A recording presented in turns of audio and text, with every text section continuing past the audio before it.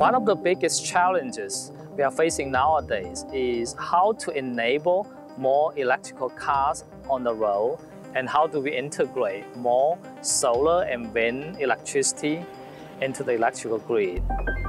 The goals of Storage X initiative at Stanford University is to develop the fundamental and applied science to address these challenges. We will organize our talented faculty and students together into a team across many disciplines to work on those big challenges. We will look into electricity storage such as battery technology as well as thermal storage and whatever makes sense which can bring the cost down, having enough cycle life. This is an opportunity for us to work with industry to bridge the gap between fundamental applied research and the industry commercialization.